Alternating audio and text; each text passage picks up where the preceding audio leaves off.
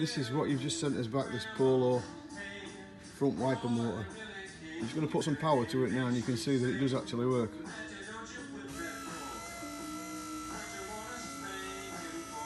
So I don't know what problem you've got, but it's not with this.